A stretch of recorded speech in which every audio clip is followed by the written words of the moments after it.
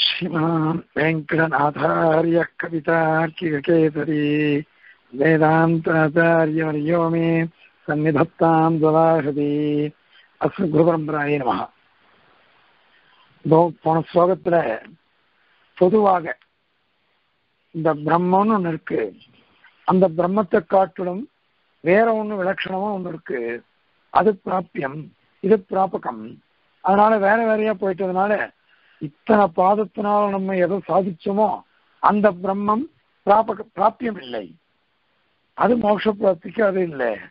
கேவலம் பிராபகம்தான். ஆதிவாகிகள் மாதிரி அர்ச்சிராதி கணங்கள்லாம் எப்படி இருக்குமோ அந்த மாதிரி. அப்படின்னுட்டு அவன் வந்து ஆக்ஷேபிச்சா அதுக்கு சமாதானமாக பொதுவா சொல்லிவிட்டார். வந்து உபனிடம் சொல்றது. வேதமே ஸ்பஷ்டமா சொல்லிடுத்தோ. ஸ்மிருதி சொல்லெடுத்து. ஸ்மிருதி சொல்லணும்னு எது காரணமோ அதுதான் பிராப்பியம் எது காரணமோ அதுவே உபாசியம். எது காரணமோ அதுவே பிராபகம். அதாவது காரணமா இருக்கக்கூடியது பிரம்மம். அதுவே உபாசியம். அதுவே பிராப்பியம் அதுவே பிராபகம். எல்லாமே சித்தோபாயமாகவும் அது மாதிரி உபேயமாகவும் அது இருக்கு. அதனால இத்த காட்டுல வேற ஒன்றும் கிடையாது. இந்த மாதிரி ஒரு பிரமாணமே இல்லை. அப்படின்லாம் சொல்லி முடிச்சார். கூடவே அங்க சேதுத்துவம்லாம் இருக்கே அதுக்கெல்லாம் என்ன அர்த்தம் சொல்லுவேன்? சேதுனாக்கா இந்த கரையிலேருந்து அந்த கரையை அடையிறது தானே? அப்படின்னா அவன் மேல் கேள்வி கேள்வி கேட்டா. அதெல்லாம் கூட விரோதம் இல்லாத அர்த்தத்தை அங்கீகரிக்கணும். ஒரே சப்தத்துக்கு பல அர்த்தங்கள் இருக்கலாம். அதனால விரோதமற்ற அர்த்தங்களை பொருளை நம்ம வாங்கிக்கணும் அதனால இது விரோதம் இல்லை. அப்படின்னு சாட்சியம் விட்டுட்டேன் இப்போ அவன் கேள்வி கேட்டான். நாலு கேள்விகள் கேட்டான் அவன். சேது விபதேசாத் உன்மானம் விபதேசாத் வேத விபதேசார் அது மாதிரி சம்பந்த விபதேசார் அப்படின்னு நாலு சொன்னான் அந்த நாலுத்துக்கும் பதில் சொல்லணும். அதுல மூணு விஷயத்துக்கு இப்ப இந்த ஸ்லோகத்துல சாய்க்க போறேன் சேது விபதேசம்னு ஒண்ணு சொன்னான் அதுக்கு சமாதானம் சொல்லணும். அதே மாதிரி உண்மான விபதேசம் பரிமிதி வச்சனம் அளவோட கூடினது அப்படின்னு சொல்ற ஒரு வச்சனம் இருக்கு. அதுக்கு அர்த்தம் சொல்லணும். அதனால சேத்து விபதேசம் என்ன? உண்மான உபதேசம் என்ன? அது மாதிரி சம்பந்த உபதேசம் என்ன? அதுக்கு அர்த்தம். மூணுத்துக்கு சமாதானம் இந்த ஸ்லோகத்துல சாய்க்கிறாரு. அதனால அந்த கிரமத்துல பாருங்க. இன்னொரு ஸ்லோகம் இருக்கு. அது கடைசி. வேத உபதேசம்ன்றத கடைசியில சொல்ல போறார். இப்ப இடம் ஒண்டி சொல்ல போற இந்த இடத்துல. மூணு உபதேசங்கள். சேதுன்னு என்ன அர்த்தம்? நீ சொல்றது ரொம்ப சரி. பாலம் ஒரு பிரிட்ஜு அப்படின்னு நீ சொல்ற நீ. அந்த அந்த பாலம்ன்றது என்ன பண்ணும்? ஒரு அணை. அது என்ன பண்ணும்? அப்படின்னு பாருது அதுக்கு சுவாமி என்ன சாய்க்கிற நீ சொல்றது இங்கேருந்து அங்க ஆக்ஷன் போய் விடுறது அப்படிங்கிறது அர்த்தத்துல வந்து நீ பிடிச்சிட்டு இருக்க. சேதுனாக்கா இந்த கரையிலிருந்து அந்த கரைகளை கொண்டு போறது அப்படின்னு நீ அர்த்தம் பண்ணிட்டு இருக்க. நான் என்ன சொல்றேன்? அந்த வார்த்தையே வேண்டாம். இந்த கரையிலிருந்து அந்த கரைன்றது வேண்டாம். அது ஒரு அர்த்தம் இருக்கலாம். அதுவும் உண்டு. ஆனால் இன்னொரு அர்த்தமும் இருக்கு. தாரகம்னு ஒரு அர்த்தம். தரிக்கிறது. என சேத்து. ஒரு அணையானது எப்படி ஜலத்தெல்லாம் தரிக்குமோ எப்படி தரிக்குமோ அந்த மாதிரி நியமம் இருக்கு. தாரகத்து நியமம். எல்லாத்தையும் தரிக்கிறது அணைங்கிறது. அதே மாதிரிதான் எம்பெருமான் தாரகனாக இருக்கான். சர்வதாரகன். இது சொல்றோம் பாருங்க ஏற்கனவே சொல்லிருக்கோமே. ஜோஸ்த சந்திராக்க நட்சத்திரம் கம்பிஷோ பூர்மஹோ ததிஹி வசுதேவசிய வீரியேன விதிர்தானி மகாத்மனா. விதிர்தானி விசேஷமாக தரிக்கப்படுகின்றன. இன்னைக்குதான் பகவத்கீதை அர்த்தம் சொன்னேன். முதலாவது அத்தியாயத்தில். அதாவது வாயு இருக்கு ஆகாசம் இருக்கு. இந்த ஆகாசம் ஆகாசம்னா என்ன அர்த்தம்? வெற்றிடம். வெறும் அந்த இது சொல்ற இல்லையோ அந்தரமா இருக்கே. வெற்றிடமா இருக்கு பாருங்க அது ஆகாசம். அந்த வெற்றிடமா இருக்கிற இடத்துல வாயு வந்து பிரசரிக்கிறது காத்திருக்கிறது காத்திருக்கிறது. எப்படி? நம்ம போறோம். ஒரு கணத்துல இறங்குறோம். ஒரு இதுல ஜலா ஜலாசயம் இருக்கு. கையை வைக்க காலை வச்சோம்னா வழுக்கிறது. அப்ப என்ன பண்றோம்? ஒரு ஆழமா காலை கையை எப்படி எப்படி ஆட்டுவோம்? ஆனால் ஒரு கொம்பை வச்சு நடப்போம். ஜாக்கிரதையா நடப்போம். ஜாக்கிரதையா நடப்போம். ஏன்னா பயம். நம்ம வந்து குழந்தைகள்லாம் பார்த்தா தெரியும். நடக்க ஆரம்பிக்கிற குழந்தைகள்லாம் நிற்கும் நடக்க ஆரம்பிச்சதுன்னா காலை அழிஞ்சு வைக்காது. அதுங்களுக்கு ரொம்ப ஜாகிரத உணர்ச்சி. ஓடும். ஓடிட்டு கீழே வந்துடும் அது மாதிரி அந்த நுனிக்காலால் நடக்கும். ஏன்னா பேலன்ஸ் பயம். நம்ம கீழே வந்துட போறோமோ? அப்படின்னு ஜாக்கிரதையா நடக்கும். ஆலம்பனம் இல்லாம நம்மளால நடக்க முடியாது. கம்பி மேல ஒருத்தன் நடக்கிறான் சர்க்கஸ்ல அப்ப எப்படி நடப்பான்? ஒரு கொம்பை வச்சுப்பான் கையில. இப்படி எப்படியும் பேலன்ஸ் பண்ணி பேலன்ஸ் பண்ணி கம்பி மேல நடந்து வரும். ஒரு ஆலம்பனம் வேணும். இப்போ ஆகாசம் வெற்றிடம் அதை காத்து வீசுறது. அந்த காத்துக்கு ஆலம்பனமே இல்லையே. எப்படி நிராலமனமா வீசுறது? அப்படின்னு அதை உதாரணம் சொல்றது பெருமாள் ஒரு ஆகாசத்துல காத்து எப்படியானாக்கா அழகா வீசுமோ? அந்த சமயத்துல அதுக்கு நான் தான் இருக்கேன். நான் என்ன பாக்குற நீங்க என்ன பாக்குற அவ்வளவுதான். ஆனா நான் அந்த காத்துக்கு நான் இதுவா இருக்கேன். ஆலமனமா இருக்கேன். பிடிப்பு. அதே மாதிரியாக இந்த பிரபஞ்சத்தில் இருக்கிற அனைத்துக்கும் நான் தாரகன். என் சங்கத்தை மாத்திரத்தினால தரிச்சுட்டு இருக்கேன் நான். எப்படியானால் இந்த ஒரு அணையானது எல்லாத்தையும் தரிக்குமோ? பாலமானது எல்லாத்தையும் தரிக்குமோ? நம்ம பால பால ஜலத்து பேர்ல நம்மளால போக முடியாது. அந்த பாலத்து பேர்ல நம்ம நடந்து போறோம். அத்தை பண்றோம் இத்த பண்றோம் என்னென்னவோ பண்ணிட்டு இருக்கோம். அப்போ நம்மளெல்லாம் தரிக்கிறதே. அந்த மாதிரி அந்த தாரகத்துவம் ஒண்ணு இருக்கு. அதனால இந்த பகவான் இருக்கான் பாருங்கோ அவன் தானே சர்வதாரகன். ஆதேயத்துவம். நமக்கு அவன் ஆதாரமா இருக்கான். இதான் சரீர லட்சணம். அவன் சேஷியா இருக்கான். அவன் நியந்தாவா இருக்கான். அவன் தாரகனா இருக்கான். அதனால அவன் சரீரி. நம்மெல்லாம் சேஷமா இருக்கோம். நியாமியமா இருக்கோம். அந்த மாதிரி தாரியமா இருக்கும். அதனால நம்ம எல்லாம் சரீரங்கள். சரீரத்தை ஒரு சரீர் தாங்கிறது சகஜம் தானே? அதனால சர்வதாரகன் அவன். அனைத்தும் சர்வத்தையும் தரிக்கிறவன் அவன். அவன் இல்லை என்ன தரிக்கவே முடியாது. அதனால சர்வதாரகனா எம்பிரமான் இருக்கிறதுனால இவன் இந்த சேத்துவா இருக்கான்னு சொல்றான். இதுல என்ன தோஷம்? சேத்துவா இருக்கான்னு சொன்னதுனால உடனே இங்கே என்ன ஆக்ஷன் போறது? அப்படிங்கிற அர்த்தம் தான் எடுத்துக்காத. இதுதான் சரி. சேது அப்படின்னுட்டு காமிச்சுடுத்து அப்படின்னு காமிச்சு வாஸ்தவம்.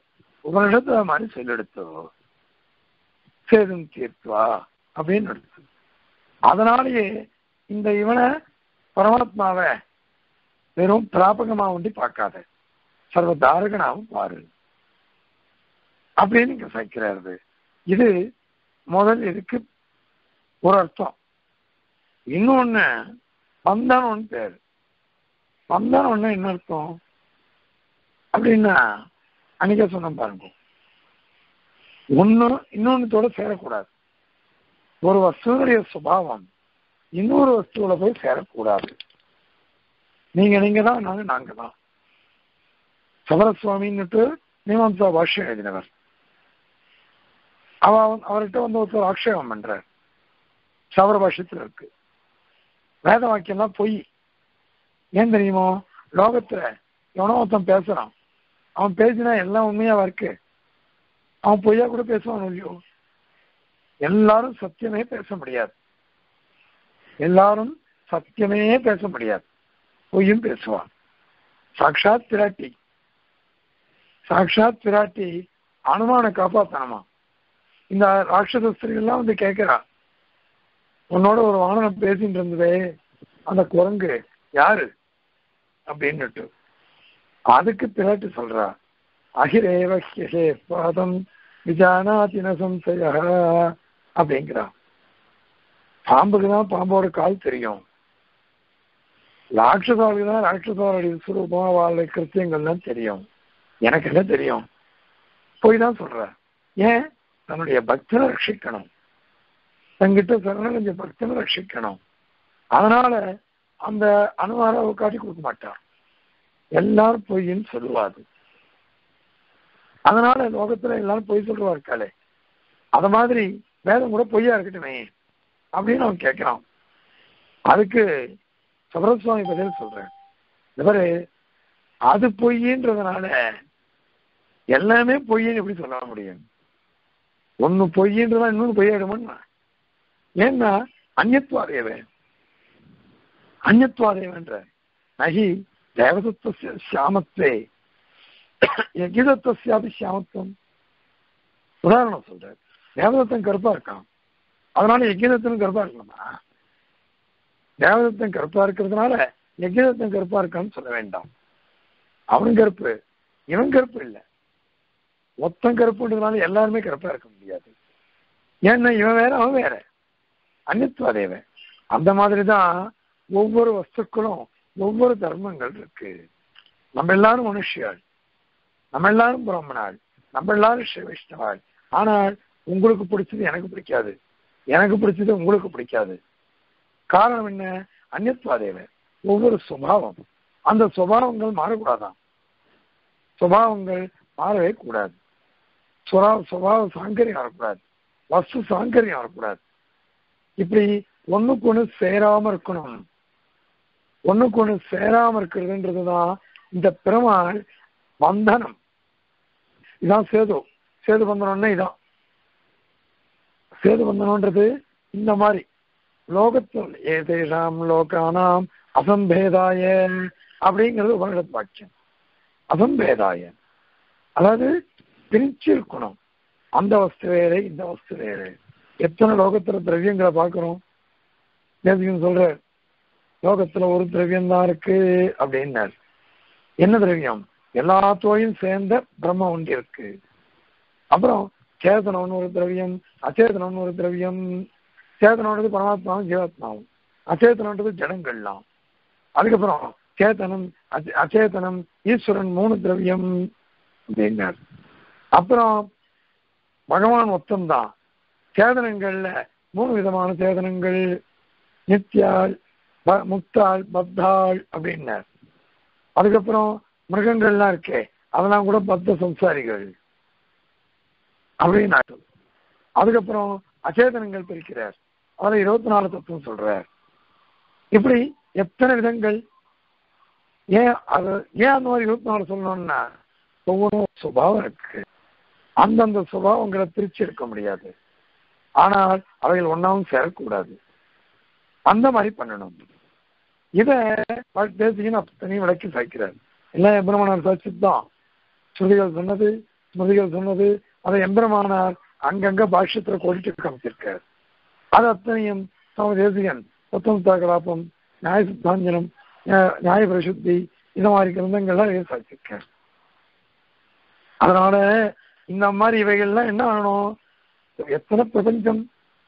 அத்தனையும் ஒன்றும் சேரக்கூடாது. எல்லாமே அதது தனித்துவத்தோட இருக்கணும். தனித்துவம் இருக்கவே தான் எல்லாருமே நம்ம பிரகாசிக்கிறோம். எல்லாரும் ஒரே மாதிரி இருந்துட்டோம்னு வச்சுக்கோங்க. பிரகாசிக்கவே பிரகாசிக்காது. சதுத்திர விஷயம் சொல்றோம். சதுத்திர விஷயம் சொன்னாக்கா உங்களுக்கே தெரிஞ்சிருக்கலாம். இதுல வந்து திருநெல்வேலியில சிவசங்கத்தினர் கூட்ட சின்னாண்டவன். அதுக்கு நாங்கள்லாம் போயிருந்தோம். கருணாராஜர் சுவாமி அழகான ஒரு விஷயம் சாதிச்சார். அடுத்தது அடியன்னு ஞாபகம் அடுத்தது சிவசங்க சோசன் குமாரர். அதன் பிறகு இன்னும் அஞ்சாறு பேர் சொன்னான் ஒரு மணி நேரமோ ஒன்றரை மணி நேரமோ நடந்தது ஒவ்வொருத்தரும் அபூர்வமாக அழகா சொன்னான் எல்லாருமே ஒரே அதிகாரம் சொல்லியிருந்தாக்க என்னது சொன்னதையே திருப்பி சொல்றேன்னு சொல்றப்பா. ஆனால் ஒரே அதிகாரம் சொன்னா கூட அவ அவளுடைய புத்தி சூட்சத்தை வச்சுட்டு லட்சணமா சொல்லலாம். பரவாக்குட்ட பெரிய சுவாமி ஒரு சர்ஸ் வச்சார். அடியன் ஒரு அதிகாரம் சொல்ல போறேன். அந்த அதிகாரத்தை அதுக்கு முன்னாடியே ஒரு சுவாமி சாச்சிட்டார் அப்போ அடியே சொல்றதா இருக்கேன் அப்படின்னு உடனே பரவாயில்ல சுவாமி என்னடா அவர் சொல்றதுதான் நீ சொல்ல போறியா அப்படின்னார். அதுதான் பார்த்து வந்திருக்காரு என்ன? உடனே கருணாகராச்சார் அதனால என்ன? அவர் சொன்னதை நீ சொல்லக்கூடாது நீயும் பண்ணா அவர் அவருடைய ஸ்டைல சொல்றார். தேவரீர் தேவரீர் அவர் சொல்றதை நீ சொல்ல மாட்டார். நீர் சொன்னதை அவர் சொல்ல மாட்டார். ஏன்னா அவர் சொன்னதை நான் சொல்ல போறதில்லை. நான் சொல்றதை அவர் சொல்ல மாட்டார். அவர் ஏதோ சொல்றார். ஒரே அதிகரணத்துல பாருங்க தனித்துவம். எனக்கு அதிகமான சாராவளி முக்கியம் சாராவளியை வச்சுட்டு அடையன் போனேன் அந்த மாதிரி ஒவ்வொருத்தருக்கும் ஒவ்வொரு தனித்துவம் இருக்கு. அந்த தனித்துவமானது போயிடக்கூடாது. தனித்துவம் என்னைக்கும் போகவே கூடாது. அதனால பெருமாள் என்ன பண்றாரா? சேர்த்து வார்க்கார் எதேஷாம் லோகே லோகானாம் அசம்பேதாய இதெல்லாம் சேர்ந்துடக்கூடாதான். பிரிஞ்சிருக்கணுமா தனித்தனியா இருக்கணுமா? அதனுடைய சுபாவமோ சுரூபமோ எதுவும் மாறக்கூடாது. அதுந்து அதுந்து தான் இருந்தது தான் அதனால தங்கிட்ட எல்லா வசதியும் தங்கிட்ட வச்சுட்டு இருக்கான் எந்திரமான் தாரகனா இருக்கான் ஆனால் அத்தனை பேர் இருக்கும். பஸ்யாம் பசியாமி தேவாம் தவ தேவ தேகே அப்படிங்கிறான் கீதையில பகவான். அர்ஜுனன். பகவானே உன்னுடைய திருமேனியில எல்லாரையும் நான் பார்க்கிறேன். அத்தனை பேரும் பார்க்கிறான். அவன் தேவதை இவன் மனுஷன் இவன் மிருகங்கள் சந்திரசூரியாள் நட்சத்திரங்கள் எல்லாத்தையும் பார்த்துட்டு இருக்கான் அர்ஜுனன். ஆனால் வேற வேறையா போயிட்டாள் அவ வேற வேறையா தான் இருக்கா? அவ அவளுடைய தனித்துவத்தோட தான் இருக்கா? எல்லாரும் சங்கரம் ஆகல. ஒன்னா சேரட யாருமே ஒன்னா சேரட அப்படிப்பட்ட ஒரு தாரகன். தங்கிட்டு அத மாதிரி பந்தனம் பண்ணி வச்சிருக்கானா? இவாளுக்கு இந்த இடம் அவளுக்கு அந்த இடம். இவா இப்படி இருக்கணும். அவ அப்படி இருக்கணும். அந்த மாதிரி எம்பெருமான் சேதுவாய் இழந்துள்ளிருக்கான் அப்படி அந்த மாதிரி இருக்கிறதுனால இதுவும் இந்த சேது சப்தத்துக்கு இப்படி அர்த்தம் சொல்லணும். ஒன்னும் ஒரு சேது எப்படி எல்லாத்தையும் தரிக்குமோ அந்த மாதிரி சர்வதாரகனாக எந்திரமாக எழுந்துள்ளிருக்கான் இது ஒரு சமாதானம். இன்னொரு சமாதானம் பந்தனம். சாங்கரியம் வராம சாங்கரியம் வராமல்னாக்க ஒன்றுத்தோடு ஒன்று கலவாமல். தங்கிட்டே எல்லாத்தையும் சென்றிருக்கான் தங்கிட்டே எல்லாத்தையும் சென்றிருப்பான் எல்லாம் ஒரே இதுவாக இருக்கணும் அது. நம்ம அந்த ஆத்தெல்லாம் லைப்ரரி வச்சுருப்போம் ஆத்தெல்லாம் லைப்ரரி வச்சுருப்போம் லைப்ரரிலாம் பாருங்க ஒவ்வொன்றையும் பிரிச்சு வச்சுருப்போம் இருப்போம். சுவாமி திருமாலைக்கு போனாக்கா தெரியும்.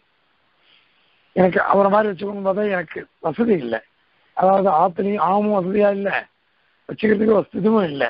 அவர் அழகா ஒரு லைப்ரரியே வச்சுட்டார். மாடியில. போ என்கிட்ட சொல்லுவார் சுவாமி இது வேத முழுக்க. இது வேத பாஷ்யங்கள். இது உபனிஷத்து. இது உபனிஷத் பாஷ்யங்கள். இது வியாகரண புஸ்தகங்கள். அங்கங்கள். இது சாஸ்திரங்கள். இது மீமாம்சா. இது நியாயம். இது வேதாந்தம். இது அத்வைத வேதாந்தம். இது துவைத வேதாந்தம். இது சிஷ்டாத்வைத வேதாந்தம். அதனையும் இந்த கணக்கில் போட்டு வச்சிருப்பார். எல்லா புத்தகத்தையும் ஒன்னா கலந்துட்டா என்ன ஆகும்? எந்த புத்தகம்? எங்க எனக்கு அதான் எனக்கு கஷ்டமே. எங்கிட்ட இல்லாத புத்தகமே இல்லை. குறைஞ்சபட்சம் ஒரு ஆயிரம் புத்தகம் வச்சுருப்பேன் ஆனால் அத்தனையும் பிரிச்சு எடுக்கிறது எனக்கு கஷ்டம். தேடி தேடி எடுக்கணும். வைக்கிறதுக்கு இடம் இல்லை பையெல்லாம் போட்டு வச்சிருக்கேன். கட்டுறது இப்போ பாருங்க அவாத்திரை எல்லாம் அசங்கரமா இருக்கு. எந்த புத்தகம் எப்போ வருமோ அனாயாசமா எடுத்துக்கலாம். நான் அவாத்துக்கு போய் தங்குவேன். போயிட்டு இப்போ போய் ஒன்றரை வருஷம் எடுத்து இந்த கொரோனா வந்ததுல போறதே கிடையாது. எப்போ போனாலும் சரி எந்த புத்தகமும் உடனே எடுத்து அப்படியே பார்த்து படிச்சுட்டு வச்சுட்டு வந்துடுவேன் அதே இடத்துல அந்த மாதிரி ஒரு பத்ததி. இதுதான் எம்பெருமான் பண்றானா தங்க தாரகனா இருக்கான். தங்கிட்ட எல்லாத்தையும் வச்சுருக்கான் எல்லா வஸ்துக்களையும் அவங்ககிட்டயே இருக்கு. ஆனாலும் கூட ஒரு கிரமமாக எல்லாத்தையும் பந்தம் பண்ணி வச்சிருக்கான். களவாம பண்ணி வச்சிருக்கான். இப்படி பண்ணி வச்சிருக்கிறதுனால இந்த லோகத்தினுடைய சுரூபம் சுபாவம் அவையெல்லாம் ரட்சிதமா இருக்கு. ரட்சிதமா இருக்காது. சாத்தியம் குழம்பையும் ஒன்னா கலந்து சாச்சா எப்படி சாப்பிட முடியும்? இது வேற வச்சு அது வேற வச்சு. ரெண்டு விபரீதமா போயிடும். அதனால அந்த மாதிரி பண்ண மாட்டோமே நாமும் அது சாதாரண விஷயமே நமக்கு பிடிக்க மாட்டேன்றது. ஒரு சாப்பிட்ற வஸ்து. இந்த மாதிரி ஒரு ரசமோ சாப்பிட்றதோ ஒரு குழம்போ பண்ணா அது ரெண்டுத்தையும் ஒன்றா சேர்க்கறது இல்லை கணவர்களை ஒன்றா சேர்த்து சாப்பிட மாட்டோம். எங்க மாதா மகன் பையன்பாடி அவர் இறந்துள்ள இருந்தார் அம்சேவர் அவர் அம்சேச்ச அவர்கிட்ட கேட்பா கீ இது ஸ்ரீதேவந்திக்கு என்னென்ன பக்ஷணம் பண்ணினான்னு கேட்பா பொதுவாக நம்ம என்ன சொல்லுவோம் உப்பு சீடை வெள்ளை சீடை அப்பம் வாமா இது வாமப்படி மணவப்பு இதை மாதிரி சொல்லிட்டு இருப்போம். ஆனா எங்க தாத்தா சாப்பிட்ட சுண்டுபிடிங்கா நாவல் பழம் பழம் இந்த பழம் இதெல்லாம் காமிச்சார் நான் கேட்போம். என்ன தத்தாது அது? கேட்டா ஏண்டா? பெருமாள் இதெல்லாம் அம்சேக்கிறோம் அம்சே பண்றோமா இல்லையா? பெருமாளுக்கு அமுது சமர்ப்பிக்கிறோம். இதையும் சொல்லணும். இதுவும் விஷயம். பெருமாள் சாப்பிட்டதெல்லாம் பக்ஷணம் இல்லை. இதெல்லாம் தான் சாப்பிட்டார் பெருமாள். ஏன்னா ஒரு கோபாலகன் இட இடையர் குளத்துல வளர்றார். அவர் போன இடத்துல இதான் கிடைச்சது. அந்த காய் அடிச்சார் இந்த காய் அடிச்சார் அப்படிதான் சாப்பிட்டு இருந்தார் அவர் அப்படி இருக்கச்ச அதெல்லாம் சொல்லணும். அதே மாதிரி அவர் சாப்பிடுற சமயத்துல குழம்பு சாதம் சாப்பிடுவார். குழம்பு சாதத்தை மட்டும் அப்படியே சாப்பிடுவார். கரமவை தொட்டுக்க மாட்டார். கரமவை தனியா சாப்பிடுவார். கேட்டா சொல்வார் குழம்பையும் கரமதையும் ஒன்றா சேர்த்துட்டா இதன் ருசியும் அதன் ருசியும் மாறி போயிடும். அது மாதிரி சாப்பிடக்கூடாது. ஏன்னா பெருமாள் கண்டகளை பண்ணச்ச தனித்தனியா கண்டகளை பண்ணிடணும் அந்த மாதிரி தானே அது சாப்பிடணும் அப்படின்றது. ஒரு ஆகார விஷயத்திலேயே நம்ம பெரியவா எவ்வளவு அழகா பண்ணுங்க அது ஒரு தனி குழம்புல கரம சாப்பிட்டு தொட்டு சாப்பிட்றது அழகு. கரமலை தனியா சாப்பிட்றது உடம்பு சாதம் தனியா சாப்பிட்றது அது ஒரு தனியா இருக்கு இது எதுக்கு சொல்றவன்னா இதெல்லாம் இந்த ஆகார விஷயங்கள்லயே எப்படி இருக்கு பகவான் சர்வசிரஷ்டா. எல்லாத்தையும் சிருஷ்டிக்கிறவன். அப்படிப்பட்ட எம்பெருமான். அப்படிப்பட்ட எம்பெருமான் இதுதான் கிரமம் பண்றான். ஒவ்வொன்றுத்தையும் களவாம பார்த்துக்கிறான். இதுதான் வந்தனம். வந்தனத்தினால சேத்துன்னு சொல்லப்படுறது. இது ஒரு சமாதானம் சொல்லிட்டார் சேது சப்தத்துக்கு அடுத்தது அவன் வந்து உண்மானம் உபதேசம் சொன்னான். உண்மானம்னா என்ன அர்த்தம்? பரிமிதி அளவு. அளவு சொன்னான். சதுஷ்பா பிரம்ம அப்படின்லாம் சொன்னான். அதுக்கு என்ன அர்த்தம் சொல்ல போறேன்? அதுக்கு சமாதானம் சொல்லணுமே அப்படின்னாக்க அதுக்கு சமாதானம் சொல்றது. அதாவது சர்வவியாபி பகவான். ஆனால் ஒரு உபாதி ஏதோ ஒரு காரணத்தை இட்டுதான் அவன் வந்து இந்த மாதிரி அளவு அளவோட கொள்ளணும்னா இருக்கான். நம்ம நிறைய இடத்துல பார்த்துக்கோம் தகர வித்தியில அல்ப சுதேரிச்சே பதுக்கம் சூத்திரக்காரன் சொல்றாரு. தகராதிகரணம் முதல் அத்தியாயம் மூணாம் பாகத்துல அஞ்சாவது அதிகரணம். அவர் சொல்றாரு அதுல சொல்லும் பொழுது தகர வித்தியில அவனும் ஒரு ஹிருதயம் ஹிருதய குண்டலீகம் அந்த அதில் ஜீவன் இருக்கான். அந்த ஜீவனுக்குள்ள இந்த தாராகாசம் எந்திரமான் எழுந்தொழி இருக்கான் அவனை போய் எழுந்தொழி இருக்கான் அவனை போய் தாராகாசம் ஹிருதய குகையில் எழுந்தொழி இருக்கான் அப்படியே உட்காரணும். அல்பஸ்வதி சின்ன ஸ்தானத்துல இருக்கான். ஒரு சின்ன ஹிருதயம் அந்த ஹிருதயத்தை அவாவாளுடைய கத்தவர்கள் அளவு இருக்குமா? அப்படின்றது. அந்த ஹதயத்துக்குள்ள ஜீவன். அவனுக்குள்ள எம்பெருமான். அவனுக்குள்ள கல்யாண குணங்கள். அந்த கல்யாண குணங்களையும் நம்ம உபாசிக்கணும். அவனையும் உபாசிக்கணும். அப்படிலாம் சொல்லிருக்கு. இத்தனும் இடத்துல இருக்கானே. அணுவான ஜீவனுக்குள்ளேயும் அவன் இருக்கான். அப்படின்னு சொன்னா என்ன அர்த்தம்?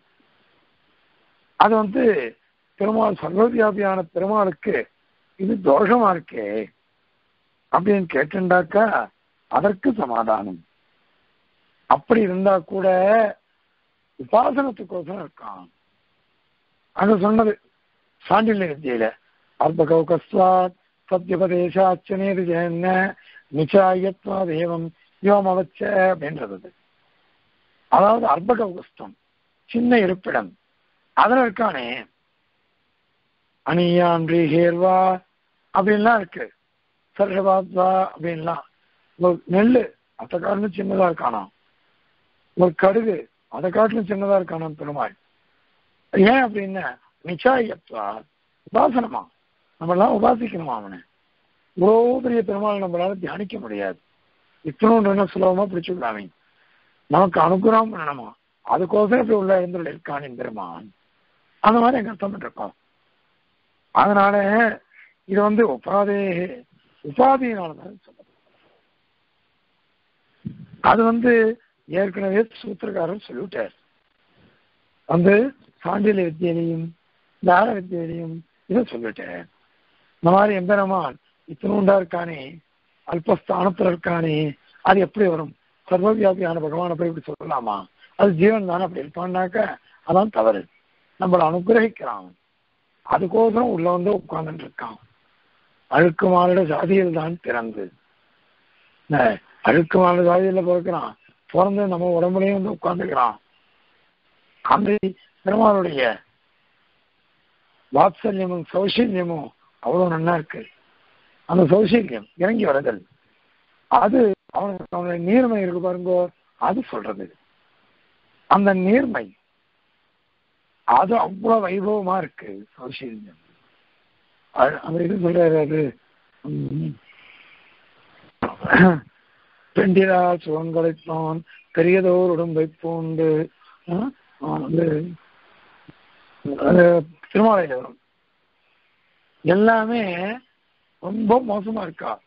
மித்த வல்வனையில் நின்று மூன்று அது ஆ, க- வல்வனையில் நின்று மூன்று மூன்று மூன்றுடத்து வயதேரால் கத்திய பந்தும் கொண்டு பராங்கரி கண்டு இத்தனை அரியனார்க்கு இறங்கும் நம் அரங்கனாய இத்தனை பெற்றும் வந்தோ பிறவிகள் பிணங்குமாறே அப்படிங்கிற ஈ முக்கிய மாதிரி அப்படியே மொய்க்கிறதான் மக்கள் அப்படி இருக்கச்ச. அவன் என்ன பண்ணான்? சத்ரபந்தோ கோவிந்தான் மூன்று எழுத்து. கோவிந்தா மூன்று எழுத்து மூன்று எழுத்துள்ள பேராள். கத்திர பந்தும் ஒன்றே பராங்கதி கண்டு கொண்டான். இத்தனை அடியனாருக்கு இறங்கும் நம் அரங்கனாய. இப்படி சௌசல்யத்தோடு இருக்கான் இவன். எவ்வளவு சுலபனா இருக்கான்.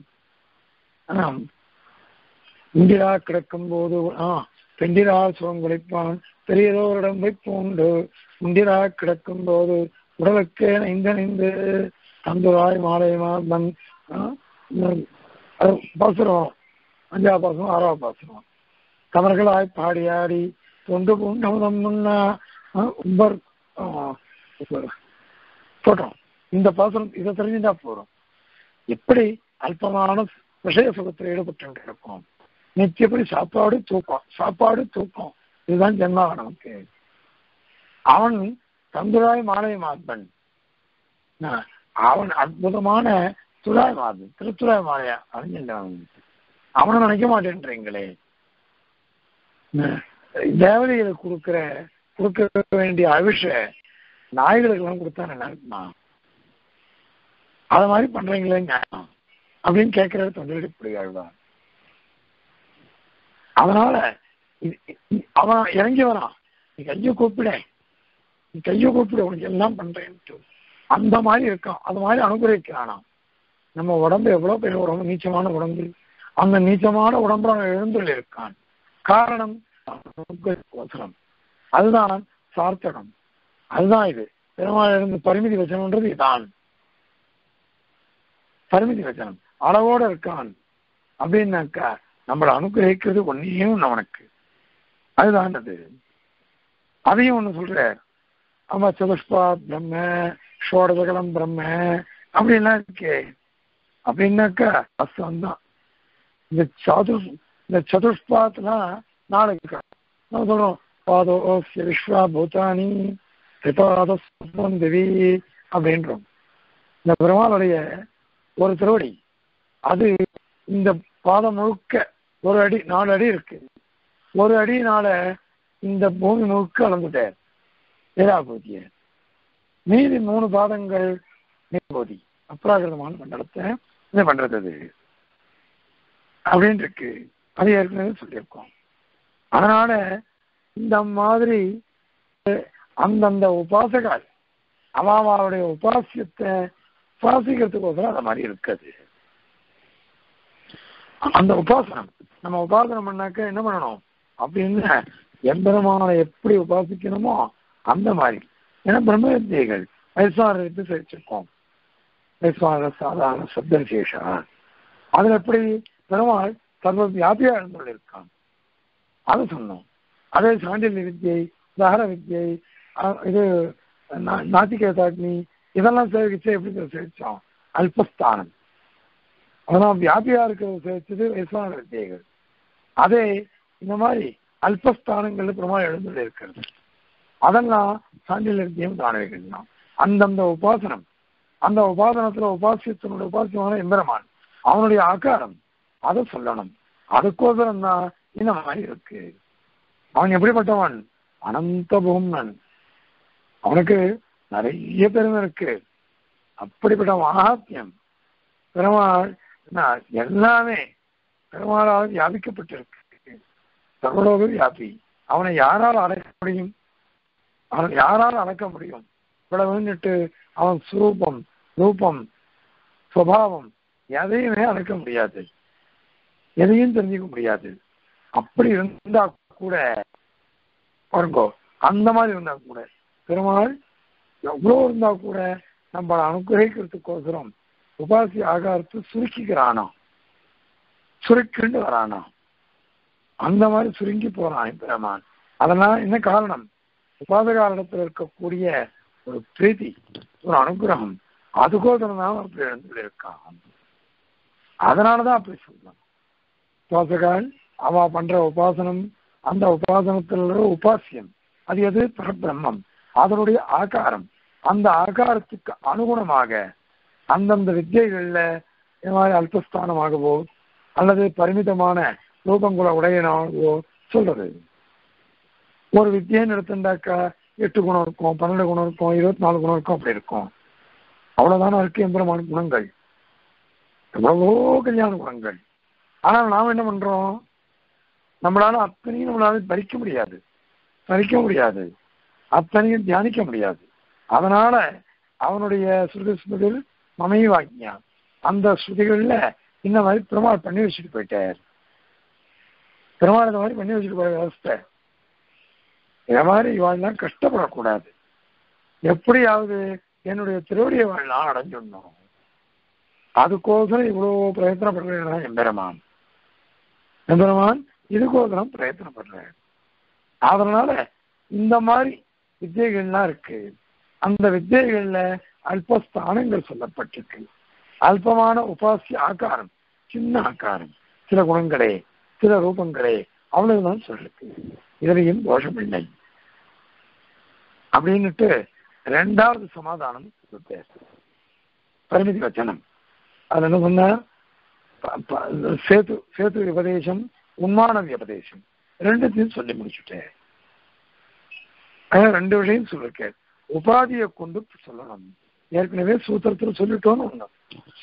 இன்னொன்னு என்ன அப்படின்னாக்கா அந்தந்த உபாசனத்துக்கு ஏற்ற மாதிரி அவனுடைய ரூபமானது உலகத்துக்குள்ள சொல்லப்பட்டபடி கற்பிக்கப்படுகிறது. இது நம்ம கல்பிக்கல உன்னிடத்துல சொல்றது. உன்னிடத்தானது அது மாதிரி காமிச்சு கொடுக்கறது. அதெல்லாம் இந்த உபாதியை வச்சுட்டுதான். அதை மாதிரி அங்க அர்த்தம் பண்ணிட்டோம். அப்படின்னுட்டு ரெண்டு ரெண்டு கேள்விக்கு சமாதானம் சொல்லி எடுத்து.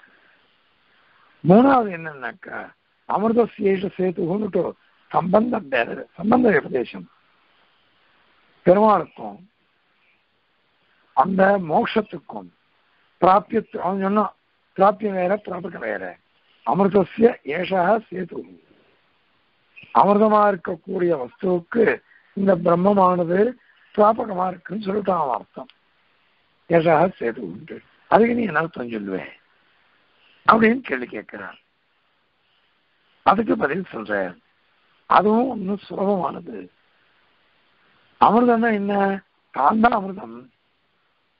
நான் தான் அமிர்தம். பரமாத்மா தான் அமிர்தம். பிரபா சொல்ற நான் தான் மம பேச்ச புனர்ஜன்ம துக்காலயம சாஸ்வதம் நாப்னுவந்தி மகாத்மான சம்சித்தின் பரமாங்கதா. பகவத்கீதை சொல்றது. என்ன அடைஞ்சு வச்சுக்கேன் இந்த துக்காலயமா இருக்கக்கூடியது அசாஸ்வதமா இருக்கக்கூடியது அந்த இந்த பிறகு இருக்கே. இதை அடைய மாட்டா சம்சாரத்தை அடைய மாட்டா. ஏன்னா சம்சித்தின் பரமாங்கதாக என்ன? நான் தான் சம்சித்தி அவளுக்கு என்னையே அடைஞ்சிட்டாளே. என்ன அடைஞ்சிட்டான்னாக்கா அவளுக்கு ஏன் குறை வரப்போ குறை வரப்போறது? அவளுக்கு ஏன் சம்சாரம் வரப்போறது? ஏன்னா நான் தான் எல்லாத்துக்கும் பிராப்தியம் நானே அமிர்தம் அது இங்கே தான் பகவான் சொல்றதான் இங்கேயும் அப்படித்தான். எது அமிர்தம்? பிரம்மம் அந்த பிரம்மத்துக்கு அந்த அமிர்தமான பிரம்மத்தை அடையறதுக்கு தானே சேர்த்து தானே சித்தோபாயனா இருக்கா? இதுல என்ன தோஷம் இருக்கு? தன்னை அடையறதுக்கு தானே இந்த மாதிரி இருக்கான். அமிர்த ரூபமான பிரம்மம். அமிர்த ரூபமான பிரம்மத்துக்கு அல்லது அந்த பிரம்ம பிராப்தி ரூபமான மோட்சம் என்ன? அந்த மோட்சம் தான் அமிர்தம். அந்த அமிர்தத்துக்கு ஏதத் பிரம்ம ஏதத் அமிர்தம் அப்படின்னு வாக்கியம் இருக்கு. பிரதர்த வித்தியில அதனால ஏதத் பிரம்ம ஏதத் அமிர்தம். அமிர்தம்னா பிரம்மம் தான் அமிர்தம்னுட்டு ஸ்பஷ்டமா ஸ்ருதி சொல்றது. ஸ்பஷ்டமா ஸ்ருதி சொல்றது. உபனிடத்தே சொல்லிட்டு போயிடுச்சு. இதுவே அமிர்தம். பிரம்மமே அமிர்தம்னுட்டு. பிரம்மமே அமிர்தம் சொல்லிட்டு உன்னை அதை காட்டுல வேறுபட்டது ஒண்ணு இருக்குன்னு எப்படி சொல்ல முடியும்? அது சொல்லவே முடியாது. ஆகையினால இந்த நீ கேட்டியே சம்பந்தம் இருக்கு. இது பிராபகம் அது பிராப்பியம் இது அடைய இருக்கிறது பிராப்பியமான அதுதான் அமிர்தம் அதுதான் மோட்சம் அது வேற இது வேற. கிடையாது. ரெண்டும் ஒண்ணுதான். அமிர்த ரூபமா இருக்கிறதும் பிரம்மமே. மோட்ச ரூபமா இருக்கிறதும் பிரம்மமே. என்ன பெருமாள் அனுபவிக்கிறான்? சோஸ்மதே சர்வான் காமான் பிரம்மனா தஸ்திதேதின்னு அன்னைக்கு சொன்னோம். பிரம்மம். அத அதோட கூடின கல்யாண குணங்களை அனுபவிக்கிறான். அதனால பிரம்மமே அமிர்தம். அவனுடைய கல்யாண குணங்களை அனுபவிக்கிறது தான் மோட்சத்துல அது சந்தான கோபால உபாக்கியானம்னு வரும் பாகவதத்துல. ஒரு வைதிகன். வைதிகன் வந்து அவனுக்கு குழந்தை பிறக்கிறது குழந்தை போயிடுறது எல்லாம் கேட்டுருப்பீங்க உடனே அர்ஜுனன் வந்து என்னென்னவோ பண்றான். பண்ணாக்க ஒன்றும் படிக்கல. குழந்தை பிறக்கிறது அந்த அந்த பொம்பளை அவ கத்துறா. பிரசவ வழி குழந்தை பிறக்கிறது அழற வழி அழகு அழகு சப்தம். பிரசவ வலியினால அவ கத்துற சப்தம். குழந்தை பிறந்த உடனே குழந்தையோட சப்தம். அதுக்கப்புறம் இந்த பிராமணனோட சப்தம். ஐயோ என் குழந்தை எங்க காணுமே அப்படின்றான். எப்படியானாலும் குழந்தை தொலைஞ்சு போயிடுறது அந்த சமயத்தில் அர்ஜுனனுக்கு மனது கஷ்டம். நம்மளால பண்ண முடியலையே காப்பாற்ற முடியலையேன்னு உடனே பெருமாள் அந்த வைதிகனை அர்ஜுனனை தான தான் மூணு பேரும் ஒன்னா காரிய வைகுண்டத்துக்கு போறார். போற சமயத்துல காரிய வைகுண்டத்துல பெருமாள் இருக்கார். எனக்கு பரதத்துவம் இருக்கு. அந்த பரதத்துவத்துக்கு ரொம்ப ஆசையம். இந்த கிருஷ்ணனை நேரம் பார்க்கணும்ட்டு நான் தான் கிருஷ்ணன். ஆனாலும் நேரம் வரவழைச்சு பார்க்கணும்னு ஆசையா யாராலையும் ஜெயிக்க முடியல. அதனால அழைச்சிட்டு போறார். அந்த பெருமாளையே அங்க உட்காந்துருக்க ஆனால் இந்த வைதிகன் இருக்கான் பாருங்க. அவனுக்கு அந்த பெருமாளையும் சேவிக்கல. பெருமான புதமான இருந்தவர் இருக்கான் காரிய வைகுந்தத்துல அதையும் இவன் சேவிக்கிறேன் சேவிக்காம வழியில லைட் எப்படி இருக்கு? அது எப்படி இருக்கு? புஸ்தகம் எப்படி இருக்கு? அப்படின்னு வேடிக்கை பார்த்துன்னு போனான். கடைசியில குழந்தையெல்லாம் கிடைச்சி விட்டான். கிடைச்ச உடனே இதுவே எனக்கு பணம் பிராப்தியம் குழந்தைய அணைஞ்சிட்டேன் இதுதான் நான் அவ்வளவு கஷ்டப்பட்டேன்னுட்டு குழந்தைய அணைச்சிக்கிறானா சாட்சாத் இங்க பரபிரம்மம் உட்காந்துருக்கு அதை பார்க்கல.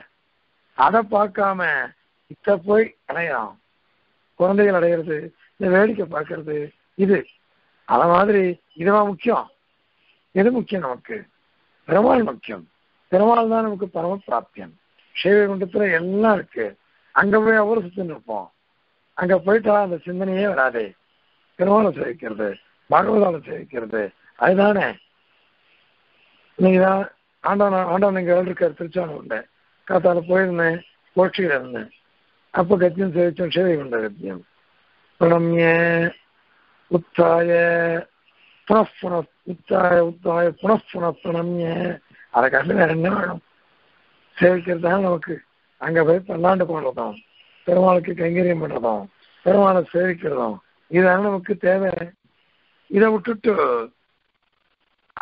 இங்க உட்காந்து வேடிக்கை பார்க்குவா அப்போ அதனால பிரம்மத்தை அடையிறது பிரம்ம கல்யாண குணங்களை அனுபவிக்கிறது இதுதான் நமக்கு உத்தேசம் அதனால பிரம்மமே அமிர்தம் பிரம்மமே பிராப்பியம் பிரம்மமே மோக்ஷம். அதனால தனக்குத்தானே சேது அதுவா இருக்கு காரணமா இருக்கு. அடையறதுக்கு சுத்தோபாயமா. தன் அடையறதுக்கு தானே உபாயம். அதனால என்ன தோஷம் வந்துருச்சு? ஆகவே எம்பெருமான் தான் சித்தோபாயமா இருக்கான். அதனாலதான் நம்ம சித்தாந்தத்தை இதான் ஒண்ணு நம்ம உபாசனம் பண்ணிட்டோம். சரணாகதி பண்ணிட்டோன்றதுனாலே நமக்கு மோட்சம் கிடைச்சிடாது.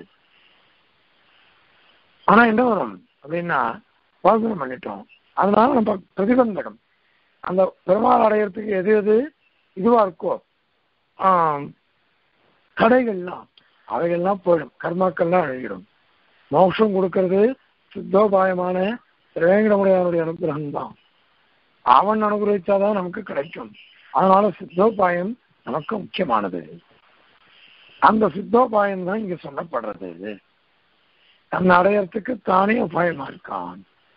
அப்படின்னு சொன்னதுனால மூணு கேள்விகள். முதல் கேள்வி சேதுத்துவம் எபதேசம் இரண்டாவது உண்மானம் எபதேசம் மூணாவது இது சம்பந்தம் எபதேசம் பிராப்திய திராபக சம்பந்தம். அந்த மாதிரி உண்மானம் சங்கேயத்துவம் அளவோட கூறினது அப்படின்றது. உண்மை அதே மாதிரி சேர்த்துட்டோம் ஒரு சாலை மாதிரி இருக்கான்.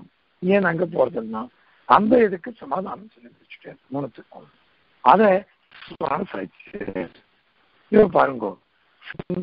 சேத்து துல்லியா விதரண நியமாத்து பந்தனாத் வார்த்தயுக்தம் யாத்தேப்பியஸ்மின் உபாதேகே பரிமிதி வச்சனம் சார்த்தகம் சூத்திரிதம் பிராக்.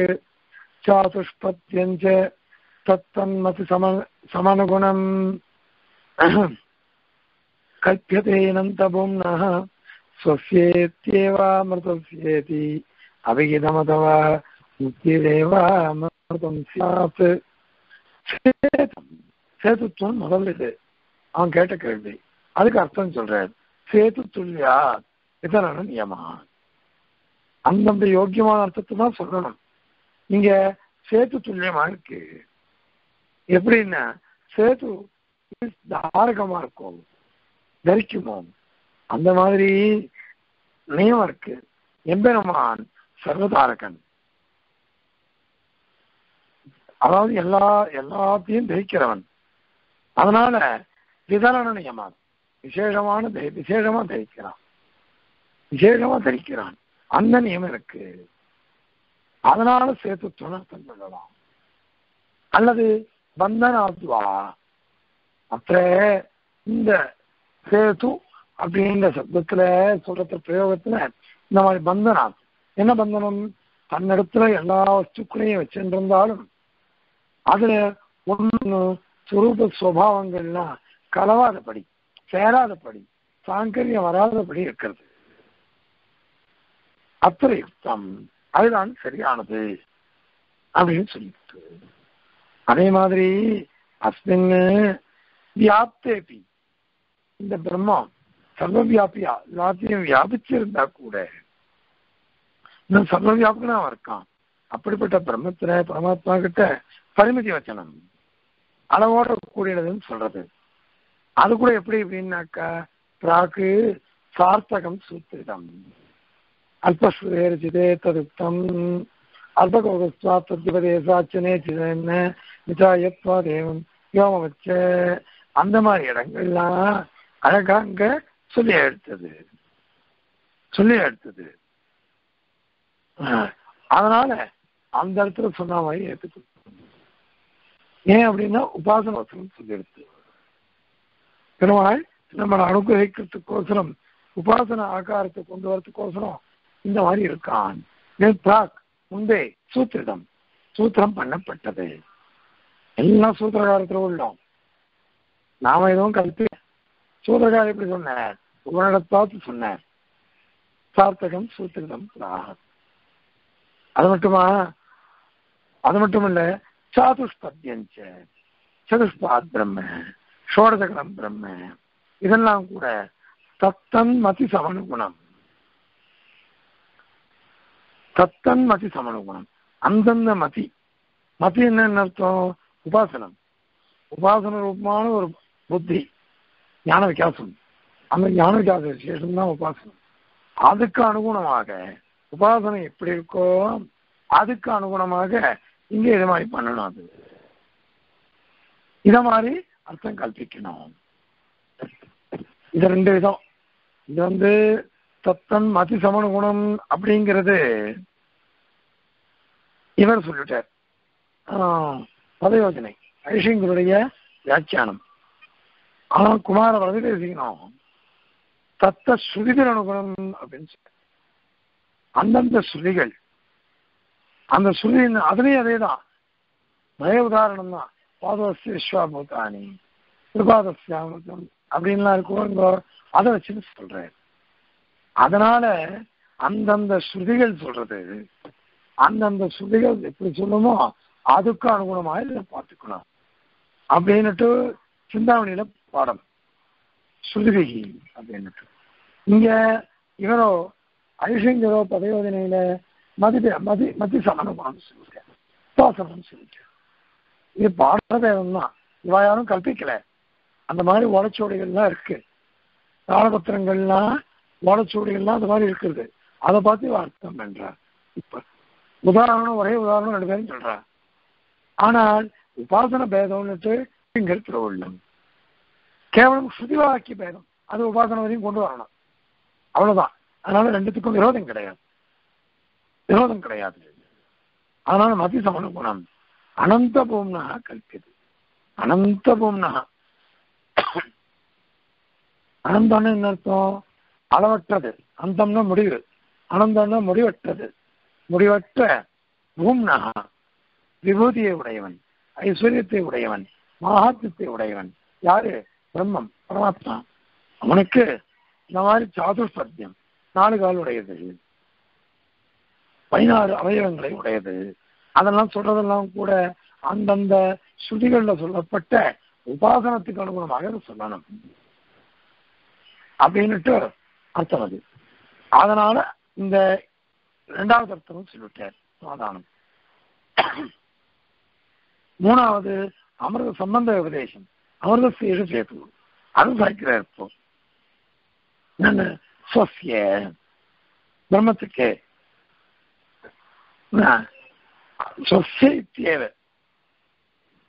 தானே அமிர்தம். தானே அமிர்தம். அந்த தாத்பரியம் தானே அமிர்தம் நட்டு அமிர்தசிய இது அவிகிதம் பிரம்மமே அமிர்தமாகுது அதனால் சொசிய இத்தியேவ சொசிய அமிர்தசிய. தானே அமிர்தமா இருப்பார் பரமாத்மாவே அமிர்தமா இருக்கான் அதனால அந்த அர்த்தத்துல இது சொல்லப்பட்டது. தன்னை அடையறதுக்கு தானே சேத்துவா இருக்கான். சித்தோபாயமா இருக்கான். அப்படின்னு அர்த்தம் அது. அதனால மோஷம் வேற இவன் வேற பரமாத்மா வேற அப்படின்னு அர்த்தம் கிடையாது. தானே சேர்த்து சுயம் சேர்த்து தானே உபாயம். அவன தன் அடையறதுக்கு தானே உபாயம். அமிர்தசு இது அபிகிதம். இது ஒரு சமாதானம். அல்லது அசவா அல்லது முக்திரேவ அமிர்தம் சியார் முக்திரேவ. மோக்ஷம் தான் அமிர்தத்தினால சொல்லப்படுறது. மோட்சம் தான் இங்கே அமிர்தத்தினால சொல்லப்படுறது ஏன்னா பரமாத்மா அடையிறது தானே மோட்சம் அந்த மோட்சம் தான் அமிர்தம். மோட்சத்தை அடையணுமா? அமிர்தமான மோட்சத்தை அடையணும்னாக்க அதுக்கு எம்பெருமானே சித்தோபாயம் அந்த அமிர்தம் எது என்ன? பகவான் அடையிறது.